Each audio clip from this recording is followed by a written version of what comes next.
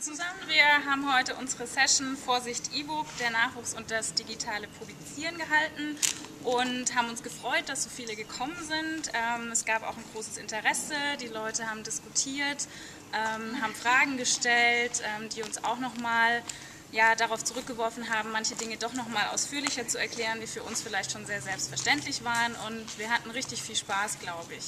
Wir hatten vor allen Dingen sehr viel Spaß bei der Vorbereitung, als wir diese wunderbaren Plakate erstellt haben, die wir auch noch auf allen sozialen Medien ja, teilen. Genau, genau ja.